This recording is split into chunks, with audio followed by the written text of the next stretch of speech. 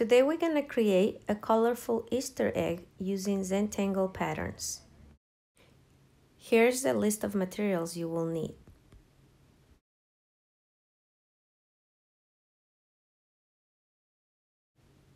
So here, as you can see, my paper is smaller than a regular paper.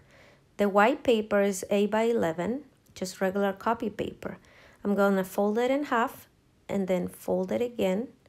We're to cut it and we're only using one out of the four pieces that you're to get. So you can save the other three for another project. So in this drawing, I use markers for the inside of the egg I use a black Sharpie for the lines and I use watercolors for the background. So now I'm to show you how to draw the egg. We're to start with the egg shape. I use my hand to help me with the shape of the egg.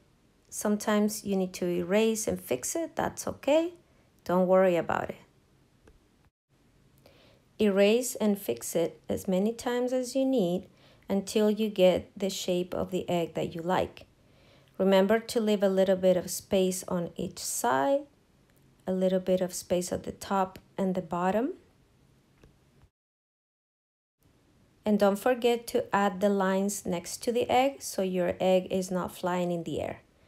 Now that you have the right shape, you can start adding the lines.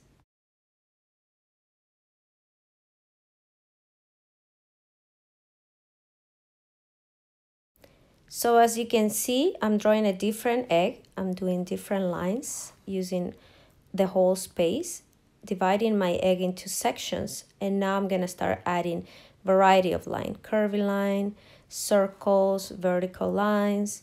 You can do zigzag lines, any patterns you like.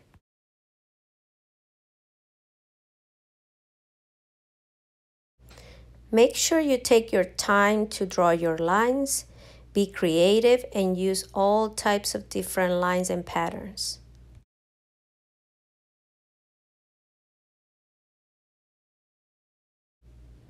So in my composition, I use markers for the inside of the egg, watercolors, and a black Sharpie for tracing the lines.